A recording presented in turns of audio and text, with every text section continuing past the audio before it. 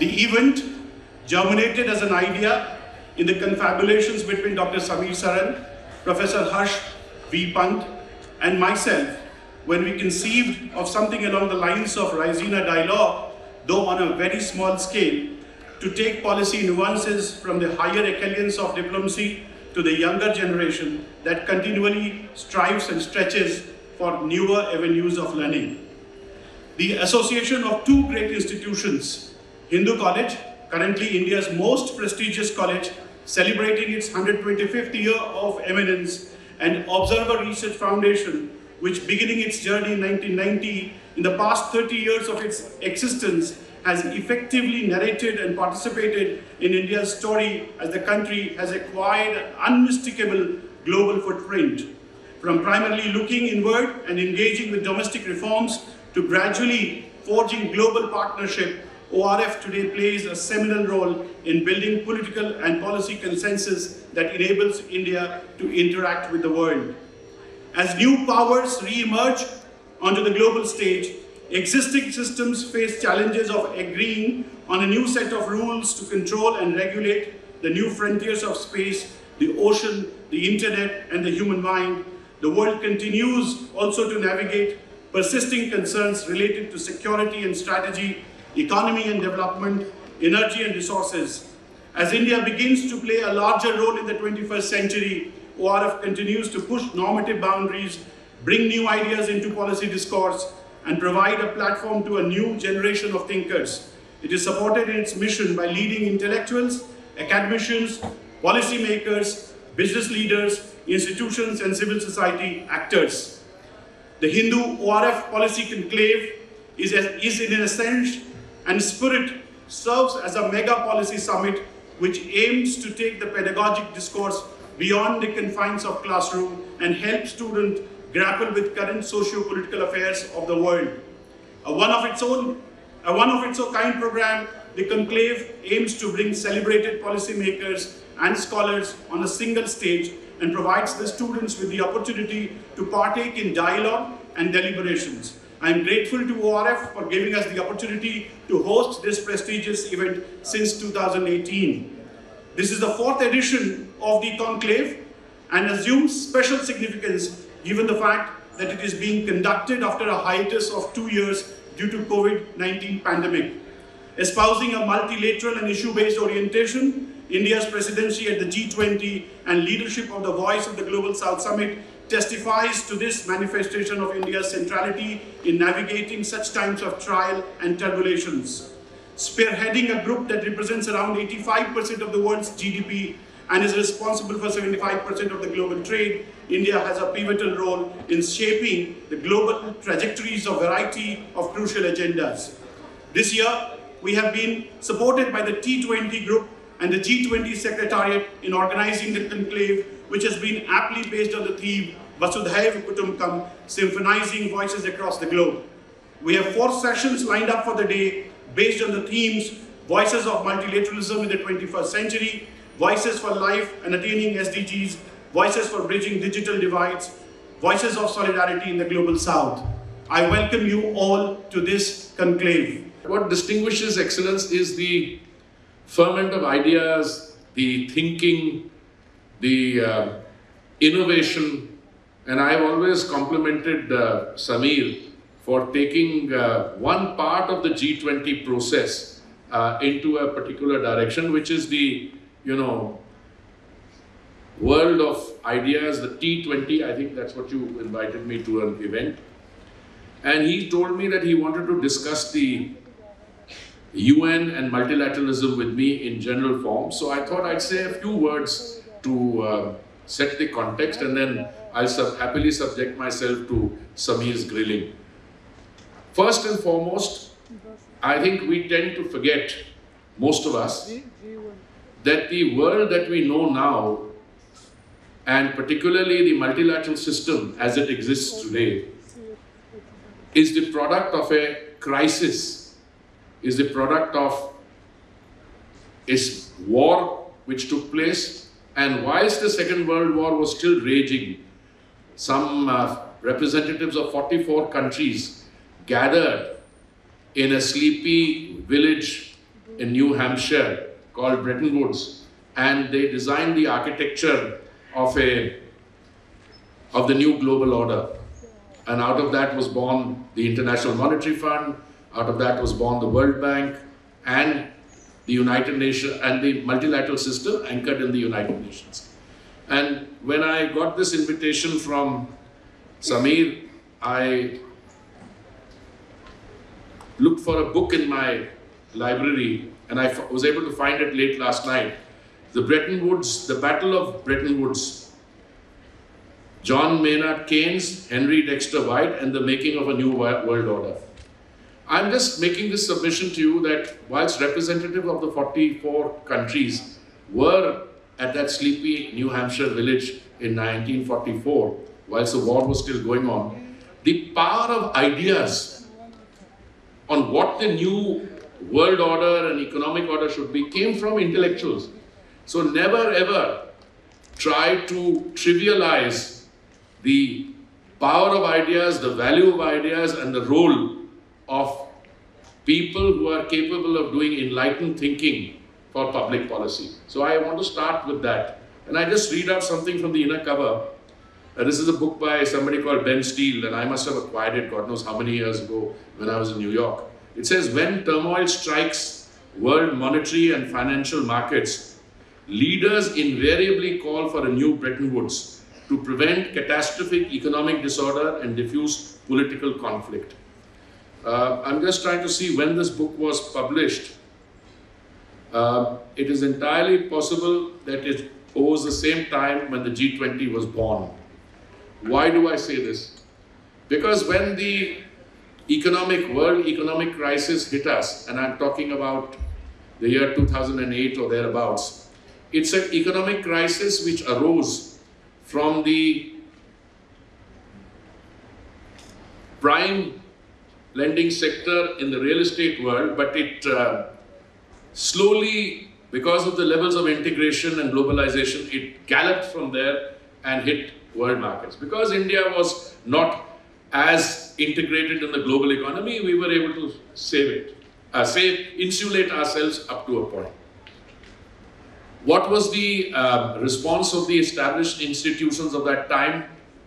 Uh, the United Nations, the Monetary Fund, the World Bank, many of them, frankly speaking, and I say this with a degree of responsibility, were clueless on how to handle the, uh, the scale of the economic crisis. So there used to be a group meeting at finance minister's level. They upgraded that group into a summit level group of the G20.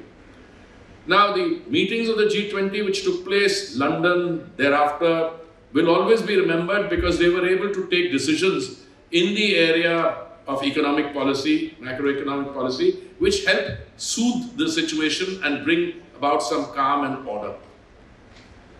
Today, the crisis that the global economy faces, and I don't just mention one crisis, there are multiple crises, and I'll come to that. India's G20 presidency is taking place at that time of crisis. I don't think between then and now there were some presidencies which had to deal with it, but I think the crisis is full born.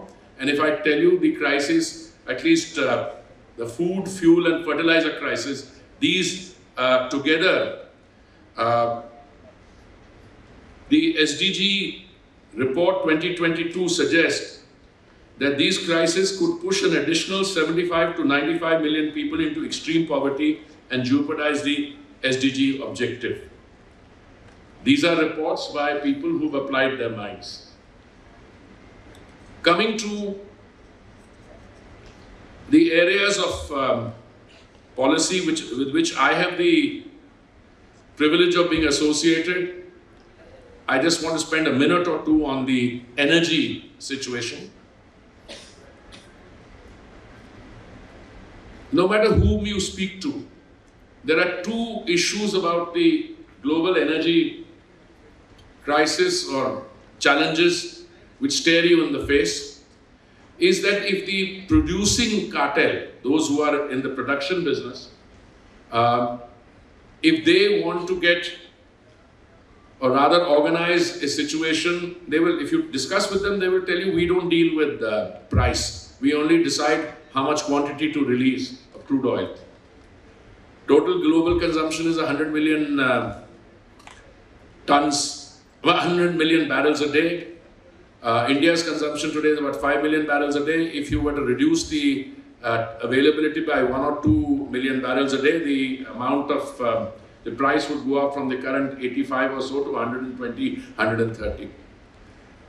But what equally stares you in the face is that thanks to the pandemic and thanks to the fact that a um, lot of countries pumped in stimulus packages, one country put in $20 trillion, produced an inflationary situation.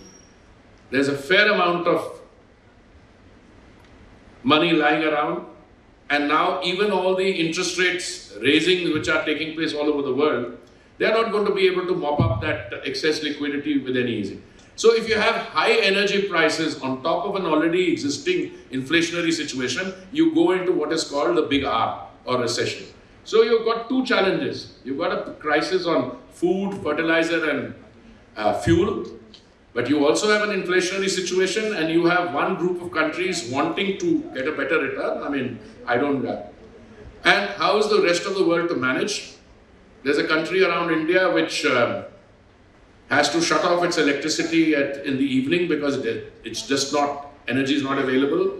There's another country uh, in India's vicinity to which we have given, I think, $4 billion, I think, uh, Secretary External Affairs, $4 billion in, uh, thing. And yet, how has India managed this? And there I am going to conclude with this. I think the Prime Minister was very clear that the so-called, yesterday I was uh, the, with the chief economist of the BP, who did release the BP outlook, the trilemma, energy availability, affordability, and sustainability. I think what is remarkable is that within this splintering system,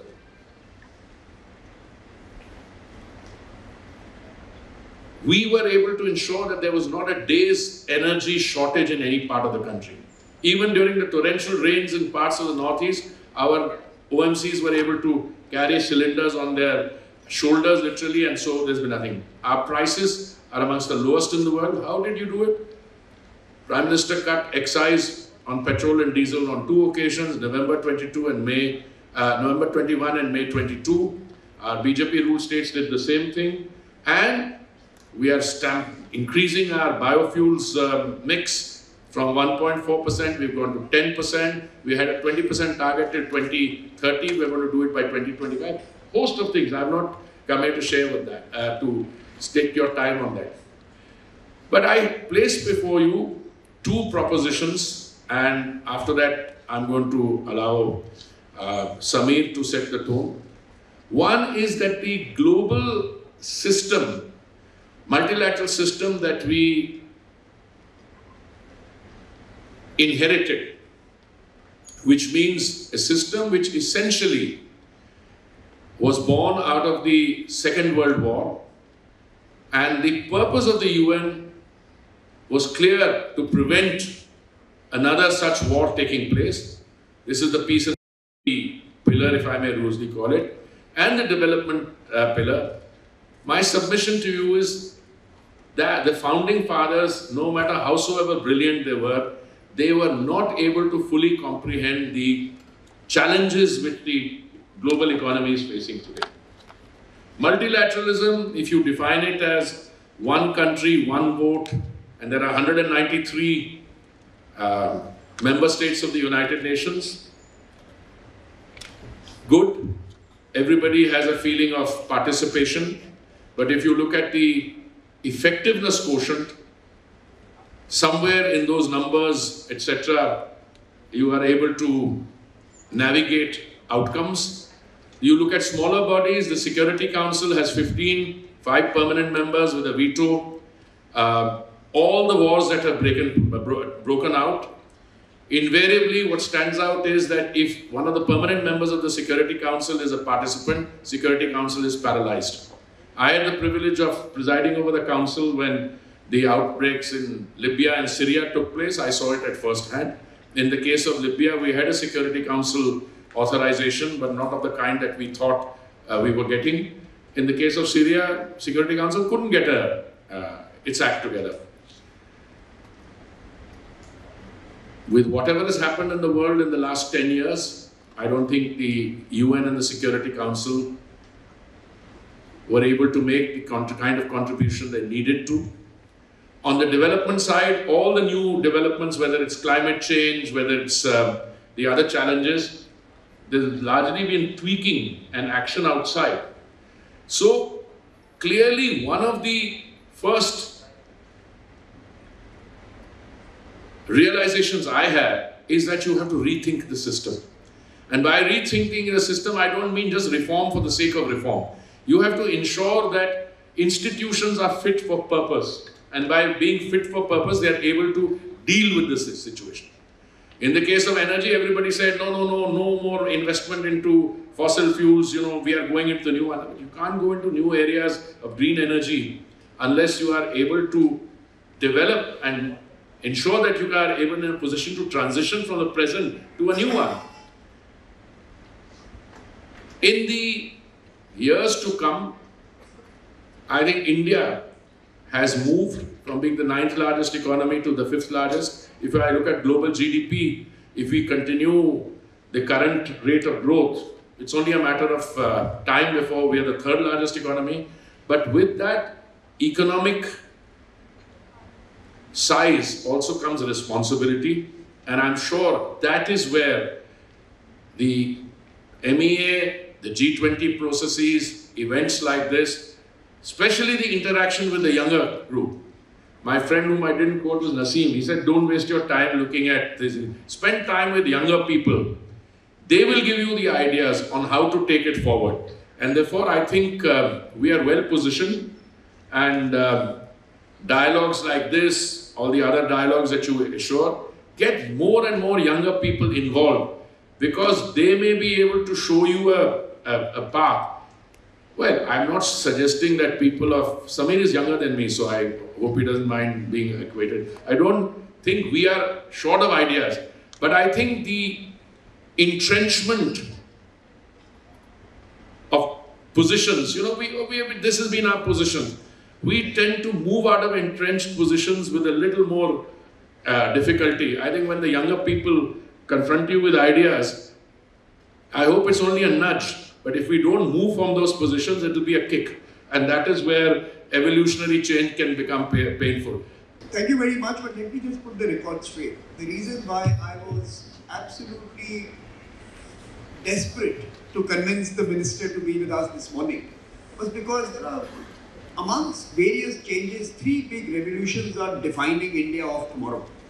One of them you could loosely term as a human revolution, young people um, now deciding to take the lead, building new business models, social models going ahead. The human revolution is clearly one of India's strongest transitions that is underway. The second is what I would loosely call the energy revolution, moving uh, from uh, just the question of access and affordability to uh, sustainability and uh, independence and, and, energy security in, in, new formats, from old energy to new energy, from uh, uh, cities to peri-urban and rural areas. There's a remarkable transformation underway. And the third is what you could loosely define as the technology revolution. Uh, the coming of age of Indian platforms, financial inclusion, business models, women, entrepreneurship, etc. And so as it would happen, all three of them are either centered around urban areas or are directly dealing with your energy ministry. In many ways, whether you like it or not, you are a custodian of these three big revolutions that are defining India of tomorrow. And therefore, you are best placed to engage with this audience that is going to be part of all three of these revolutions as we go ahead. So, so uh, that is the reason why. And of course, you've also taught in the university across the road, the college across the road. And we thought that it would be good to get you back to the vicinity. Uh, not just as an alumni, but also as someone who imparted wisdom to the college uh, uh, uh across the road. So uh, thank you for joining us this morning. And I think it would be fair to ask you the first question around multilateralism itself. Uh, one of India's big areas of focus during its G20 presidency is reforms of multilateralism. Uh, if UN is not fit for purpose anymore, is it time to repurpose UN itself? Or are we really thinking of a new architecture that will also include other institutions and other groups that may be more uh, competent in today's world. Thank you very much, Samir. Um, by the way, for most of you who uh, don't know Samir as well as I know, he's a uh, he uses uh, charm, flattery, uh, and uh, he has a way with words. Uh, goes well with me, but I think you're probably overstating it a little in my case. Yes, I have the privilege of being associated with two ministries where technology and all these things that you mentioned play a role, but I'm only a very small uh, uh, part of a larger system uh, which uh, I think uh, has been devised in its current avatar by the Prime Minister when he assumed responsibility in 2014. But some of these processes were underway. But yes, I absolutely agree with you. Certainly things like uh, uh, the technology aspect of it, the, uh, uh you know, the inclusiveness, in, in, it comes social inclusion, financial inclusion, technology plays a role, all that uh, is bears the you know imprint of the prime minister, and uh, the urban space, if I may use it technically a term, urban space is important because in the past the West uh, termed us as uh, reluctant urbanizers, but today everybody is uh, acutely conscious of the fact that today we are building something like 700 to 900 million. is it square feet or square meters of meters of urban space every year, which is the equivalent of a Chicago. And that's a fact. I mean, you know, it's taking place. Uh, how much of the GDP is accounted for by the urban space? I think about it was over 65% already. Um, what it means in reality is that uh, uh, the urban space today is um, witnessing a transformation, uh, both in terms of uh, economic contribution, bettering the lives of people. I mean, I can give you a few examples just by way of, uh, we started the urban transport or metro system something in 2002 when Mr. Vajpayee was the Prime Minister. Today we have 850 kilometers of metro. We are the fifth largest metro system in the world. But we have 1,039 kilometers of metro under construction, which means that in a few months' time, we will have overtaken Japan, Korea, and the United States to become the second largest metro system because uh, the United States have 1,500 kilometers of metro, but they are not building more metros. They are already got a uh, fairly developed uh, infrastructure. So from nowhere we have come in 2002 to we are going to be the second largest metro uh, provider in the in the world. On energy, I think the remarkable thing here is that when you are faced with a crisis on any front, then the normal temptation is to take a shortcut. And the shortcut would be to hell with the concerns of uh, you know, sustainability and green transition. Let's go back to uh, you know, traditional polluting ways. The why I think the India story stands out for is that India is the only country in the world today which has not allowed its green commitment to be diminished or derailed by this crisis. In fact, our economic entities, if we said net zero by 2070, others have said no, we'll do it by 2040, 2045, the OMCs, etc. Transition to, and I just conclude on the energy part, I was ambassador to Japan in the year 2006 to 8. 2006 to 9, 8. And, oh, Japan, I'm sorry, Brazil. I've been in Japan. No, but I'm very happy I was in Brazil. Uh, I'm Japanese speaking, so when I got posted to uh, Brazil, my Portuguese speaking colleague Hemant Singh got posted to Japan. So this was a slip. I in that time, we tried our best to get 5% ethanol blending in our fuel. We were not, not able to. In 2014, we were at 1.14%. We had a target of 10% by 2022 November, uh, uh, November. We did it five months in advance. We have a target of 2030, 20%. we've done, we are going to do it five years in advance. 2030, we brought it 2025. But I'm making another point. We are learning as we are going ahead and we are also revising our targets. I'm going to make an admission here that this 20% blending target was because we had been told that the existing engines of automobiles are in a position to take fuel blending only up to 20%. But all the new models which are coming in are E85. So you want to, so that inhibition is gone. So today, I mean, uh, we are sanctioning uh, ethanol and green energy uh, plants. Uh, yesterday, in a discussion with the chief economist of BP Outlook, I told him that I've fascinating analysis. I mean, he said India is a real growth story, etc. But as some of the targets, he said he felt that the 5 million metric tons per annum green hydrogen was over ambitious. I told him that I found it conservative. And one of our companies, uh, CMD was there, and I told him, Kitna karoge? He said, 1.8 to main kar So I think that because what do you need for green hydrogen? You need green energy. I mean, we are the only country in the world which has demonstrated that you can uh, reduce the cost per unit of solar from 25 cents to 3 cents. And you need water and you need um, uh, electrolyzers. Now, any electrolyzer manufacturer in the world that I know of are all collaborating here. And green ammonia, which our companies are already into uh, contracts to export to Germany. I've signed a contract with my counterpart in um, uh, Singapore. The new GE plant that is coming up, green ammonia, will go from one of our companies there. I make the submission to you that India is firing on all six cylinders, both in terms of increasing E&P in uh, uh, traditional, let's say, oil, gas, our gas uh, production goes up by 18% every year. It was 18% previous year, 18% this now. And you have a background in the energy sector.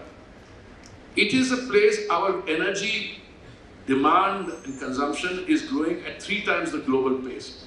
And I make one concluding comment.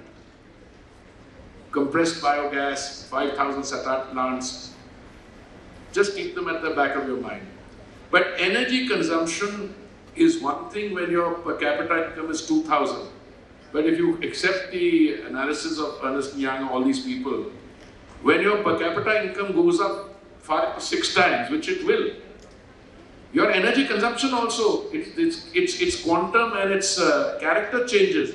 You cannot expect more energy consumption in the United States and Europe because they're all at that point, or in Japan. If I may uh, submit also China, because China at the current rate is it's, it's, it's peak. But where will it grow? It will grow in India because although we are a large economy now by global standards, our per capita income still need uh, to catch up. So I think this is where the growth story is. And, and uh, Mr. Minister, on the question of the UN, why uh, are we so uh, determined to save the UN, invest in its reforms, or are we equally uh, innovating around new institutions and new solutions? Samir, I want to be very candid. The pleasure of unilateralism, I think, belongs to no one. There are instances in history, and I've got some very eminent people who've studied this sitting here. There are points of time in history where we think that uh, we are strong and God has been kind to us, therefore we can act unilaterally. That is the extreme. And I don't think anybody can get away with that because there are consequences. Then the strong prefer bilaterally. And I've heard Indian diplomacy over the years say, why should we go multilateral? We can solve our problems bilaterally.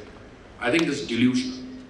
You need the multilateral system and you need multilateral approaches because it is going to be a very long time before you are in a position, uh, even when you are a $26 trillion economy, you'll still need the system. Now, whether it's a multilateral system as you know it, or it's the, anchored in the UN, or it's a new system that will arise, I really don't know. But I would be, with 39 years in the Foreign Service and still learning, I would say that multilateralism is the preferred, should be the preferred approach. Within multilateralism, you must allow yourself plurilateral approaches where if 193 are not able to do it, you form what I, what I call coalitions of the willing, right? Whether it's G4 for reform or it's G20 here. I think that's a part of how you evolve. When you were not so economically strong, you wanted to, uh, you tried to set up something called the G15 where you had leadership of uh, the developing countries. But today, I mean, don't misunderstand what I'm saying is, we look forward. I mean, you have a prime minister who's talking about India at 100, 2047. You become a developed nation by that. Shed your colonial mindset. And frankly, when that idea came, it's caught on now. Now everyone is thinking of India forward looking. That is, when you become in 2047, I mean, it's a matter of conjecture whether you are a $30 trillion economy or whatever. You're not just going to be a developed country. My understanding is that you will be a developed country much before 2047, if you go by the current indices. But you need the multilateral system. I would be one, you have a UN there. Aren't you much better off strengthening that Then, but there's another approach. I mean, I forget the uh, article in the uh, charter which says you should have a conference of parties redraw the whole thing. But all reform as I know it, I mean, I don't, uh, I mean, ever since I have begun to understand this, it only takes place when there's a crisis. Now, there is a crisis today, but will reform come out of this crisis or will we global economies? But I can tell you, the contours of interstate relationships, the rise of China, the coming of age of certain other parts of the world, these are challenges which are being factored into now. Whether they will find expression in a blueprint for a new order, I don't know. But I still think you need a multilateral system and you need, if you, you have the current one, if it doesn't uh, reform, the people will reorganize themselves in it. Mr. Puri, there is also now a renewed focus on the global south. Now, of course, as a, a post-colonial nation, we had solidarity, we had common aspirations, we had a journey that we could relate to uh, in terms of our uh, nationhood uh, or the modern avatar of those nationhoods. How is it different this time when we refocus on the global south today? What is the difference in your assessment as someone who has served in the 20th century diplomatic architecture of India and now in its 21st century avatar, you're part of the political leadership? How different is the engagement with the global south going to be?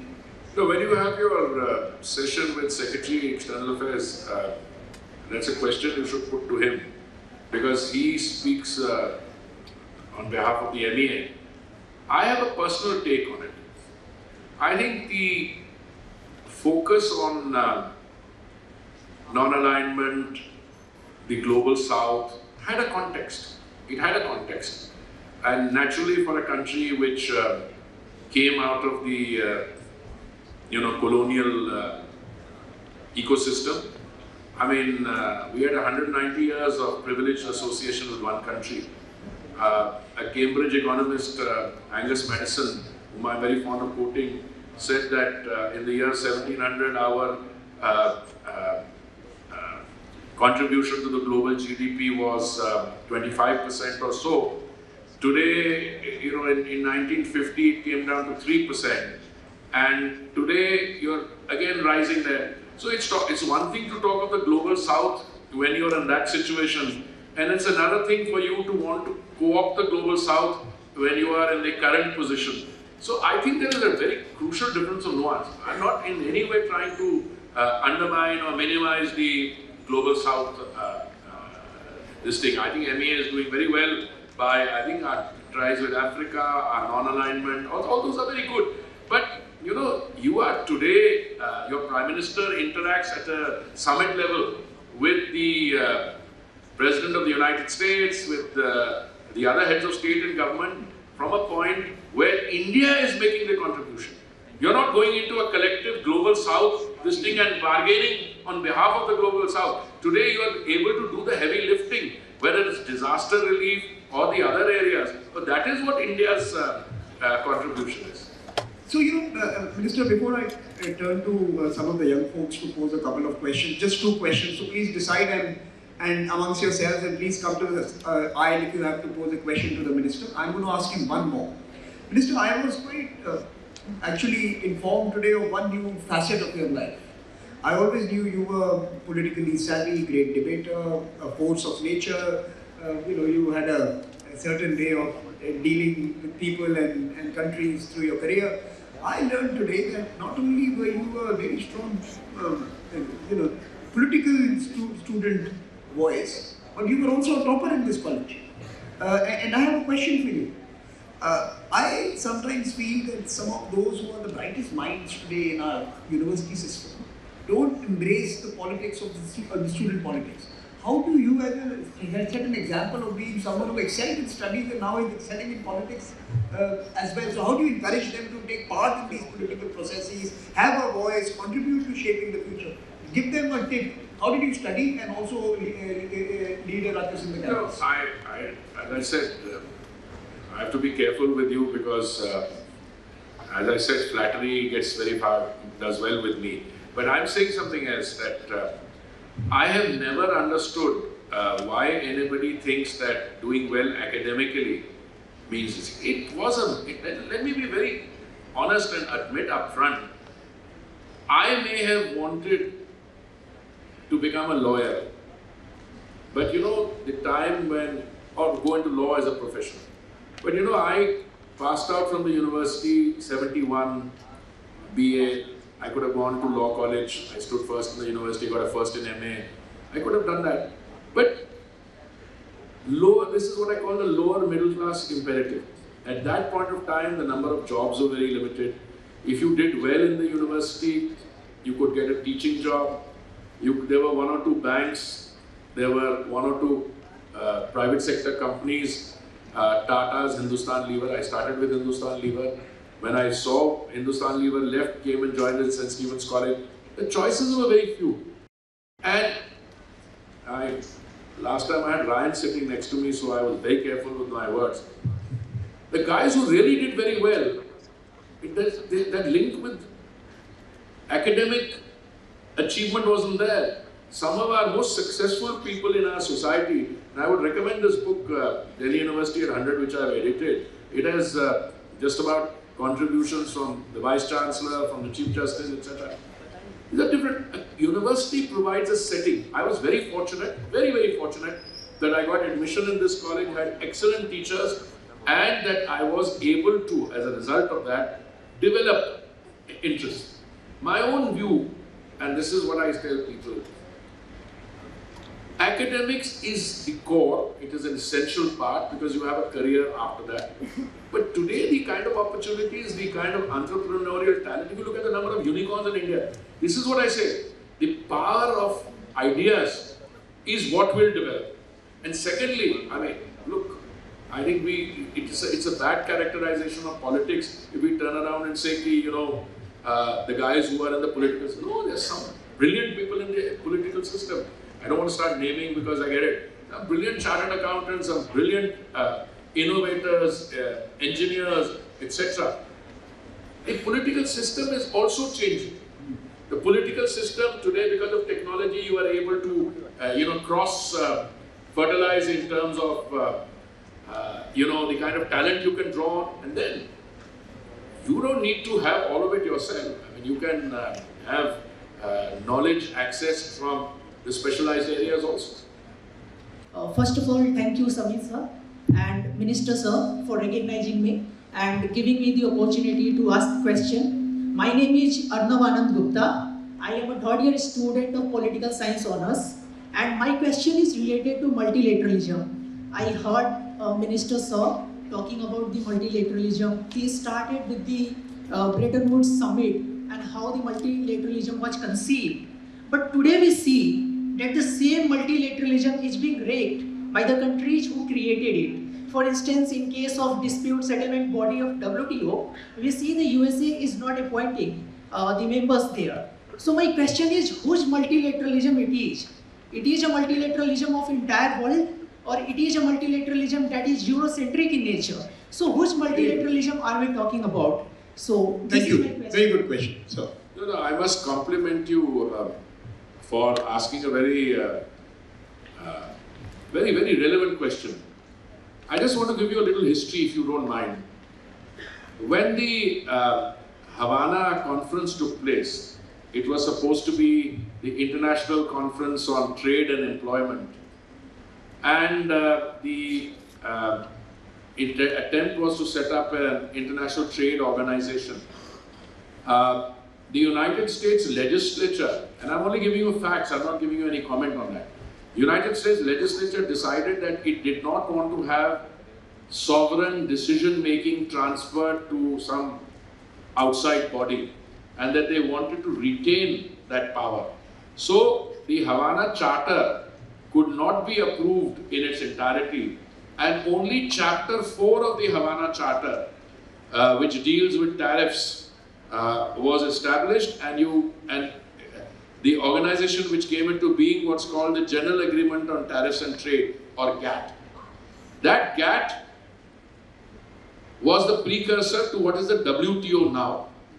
But I think your question is extremely relevant that the doubts which were there in the US mind at the time of the uh, Havana Charter have not changed. But that is something which is understandable. I'm not saying it's right or wrong. It's understandable, but they say we are the world's largest economy. We are the, why should we allow a dispute settlement machinery res, resident in the uh, uh, in the GATT or the WTO to do it. By the way, I also have the distinction for being the, uh, I, I have participated or chaired in the largest number of dispute cases uh, for any Indian. So I'm going back to 1982 PASTA, EU versus US uh, uh, on the PASTA case where we're dealing with agricultural subsidies on primary agricultural products and to, you know, steel, alcohol, all those uh, US, Canada, so on. But that tendency has remained. So if you talk about tweaking, if you talk about reforming the system, you're absolutely right. This is one of the things you'll have to deal with. Because you cannot have a multilateral system where it says Samir is willing to accept this as long as Samir uh, has his way. Or that, uh, you know, Mr. Professor Pant is willing to accept this provided he has his way. I mean, it's got to be, there's got to be an acceptance of the fact that, but you know, I think the world is becoming more uh, competitive and it's becoming also in some ways, uh, you know, more uh, confrontational. So you have to be able to reconcile that. I still think a multilateral system and a dispute settlement mechanism within the multilateral system is a better response than saying I'm King Kong and I will settle it on my terms. Thank you for the question. Can I request? Thank you very much, sir, for answering the question. Can I request the young lady? Sir, my name is Anchal, and uh, right now I'm pursuing masters in political science from JNU. And sir, uh, the question that I want to ask is about the position of India in United Nations per se, sir, because uh, as you told that um, in future we really are going to be uh, the trillion economy. So, but that bring uh, that bring me to the question that, uh, even if we land to such a position, but if we don't have a strong uh, uh, say in the platforms like UN, and that too I'm specifically focusing on UNSC, because uh, uh, those five countries are always have the say in more or less to the major foreign policies, whatever is happening in the world. Um, and India is always um, appear to take the neutral stance. Uh, sir, I'm not condemning its position, but uh, sir, how do you think that India is going to move forward with this neutral stance always? Because there need to be sometimes a strong position that India should hold, and uh, since we are the, uh, you know, sir, in Asia Pacific, we are considered to be the, to be, India is considered to hold a, such a strong position, sir. So, so even if you get a Security Council vote, will you take a stand? I think that's what she's. I think I think I think uh, I can see where she's coming from. The only uh, difference of nuance I have is that I don't think anyone will say that India does not have a strong voice. People who like us, people who don't like us, they all say that India has a strong voice. On that, there's no doubt.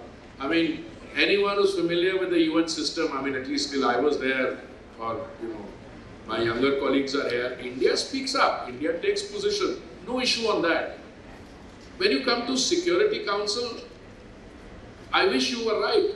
I mean, your thesis is that if five permanent members of the Security Council uh, have their say, I think the situation is a little worse than that. Even they don't have their say because it's a paralyzed Security Council. I mean, after the conflicts that I referred to, and I have a book on that, uh, Libya and Syria. I mean, my book, Peril Sentiment. After that, Security Council just collapsed, and it has collapsed for a good reason.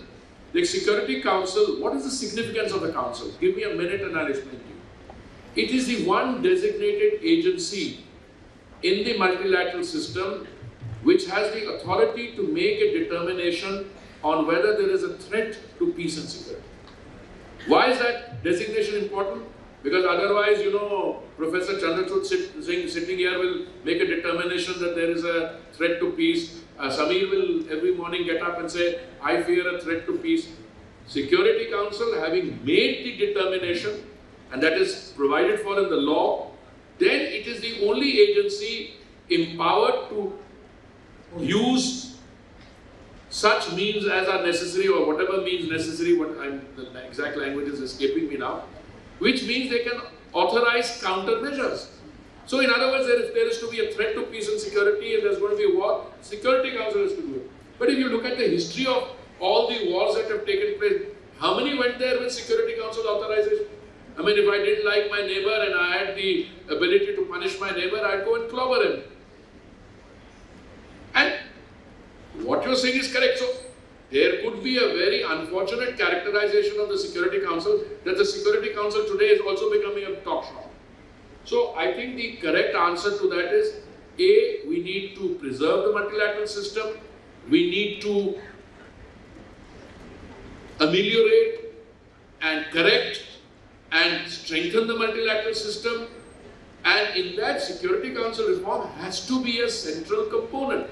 Because if the peace and security one collapses, then, then the, you know, you can have your development pillar, you can have your other thing, but if the state of, you know, anarchy is to, pres- look, I don't want to say this, but the Security Council, the UN, its greatest success lay in the fact that after 1945 it was able to prevent wars of a global nature, world wars for a long period of time. There are critics of that who will tell you, no, it's not because of the Security Council. It is because of nuclear deterrence.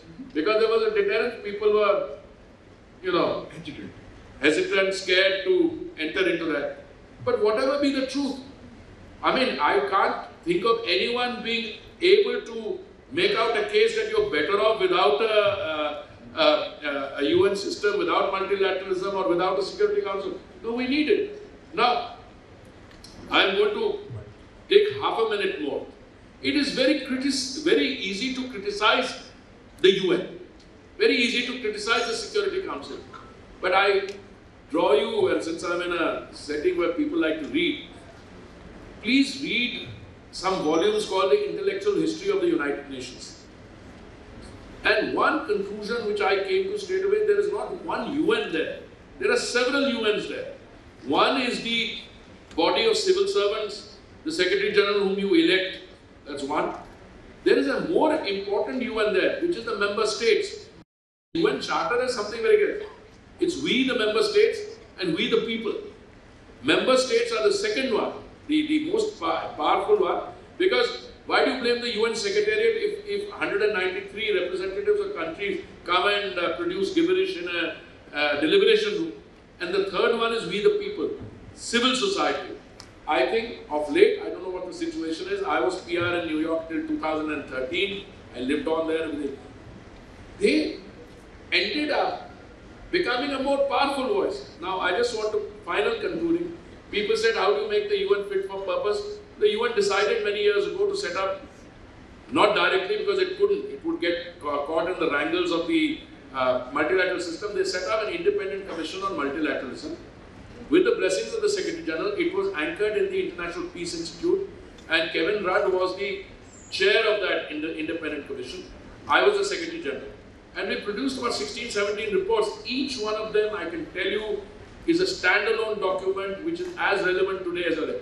But we can produce a report. Who is going to implement it? The implementation must come from we, the member states, those 193. So we can sit here in Hindu college, bright minds, and say UN is no good. If the UN is no good, we are partly responsible.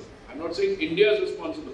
Other member states are responsible for making it what it is today, which is what? Ineffectual, not fit for purpose, or whatever. Great. I think that's a wonderful uh, discussion with the minister. Sir, I would just take a platform to put an idea forward. Just a minute. Sir, uh, what I think is United Nations was uh, built on a context, right, sir, after the World War II, and that UNSC also, today the membership belong to all those five powers which were there uh, after the World War II and they hold that position. So what I found uh, in India today, since India is holding such a strong position in uh, Indian Ocean region and it is acting like a big brother to all the neighboring nation, what I sir uh, see is that either the structure of UNSC should change or the members should should be uh, extended to include India as Yeah, well. yeah, I, I, I read what you are. I, as I said, I disagree with one part that India is acting as big brother to all the other countries in the, uh, in the state. I must lament, I must tell you, I spent 39 years in the foreign service. Five years later, there's 45, another six years as a minister. Sometimes I do worry about the fact that we don't act like big brother because then you're taken for a ride by others. But no, the issue is that even if you want, and I want, you're speaking my language, I want reform of the Security Council. I fought personally for that. But it's not going to come because I want it. It's going to come either there's another crisis or there's a redrawing of the thing. Now, if you are looking for a maximalist uh, uh, goal, that tomorrow morning it will change the composition, will change. No, you have to negotiate it. So there is an intergovernmental group there, working group. There are other processes, you have to participate on those and you have to you know, use all the margin of persuasion. But again, I'm going to conclude with one. India is better equipped today, after these nine years of the Modi government, to be able to achieve those objectives. I'm not saying we can succeed. I think we are better equipped today to uh, achieve those objectives and to go down that road than at any previous time in history. That's a limited point, I think. I, I think that's a great note to end this conversation with the Honorable Minister. Uh, I must thank him for taking so much time sharing his morning with us. Uh, he has clearly given us and given all of us three uh, very instructive points to consider as we go ahead this day and in our lives. One, uh, this college setting is exactly the place where you should explore ideas in yourself. And of course, academics are at the core, but the future course of your life will also be shaped in the relationships and in the discussions and debates that you take participate in. Number two, read. There is lots of literature out there. Uh, and, and there are lots of ideas that have already been placed out there. Uh, innovation and innovating on those ideas and taking the debate forward must be our duty, uh, not necessarily uh, uh, moving in circles. And three, uh, keep inviting him back to these sessions because he is truly someone who has a wide landscape of, of information and, and, and experience to share. A a topper from your university, a political leader from your university, I wish he was from my university.